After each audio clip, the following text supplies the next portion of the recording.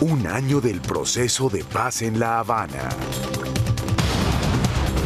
Efectivamente, el inicio ya de las conversaciones es un gran avance y que el reconocimiento como punto fundamental de los derechos de las víctimas y de la reparación para las víctimas tiene que ser una de las cosas fundamentales a discutir. Canal Capital, con el proceso de paz.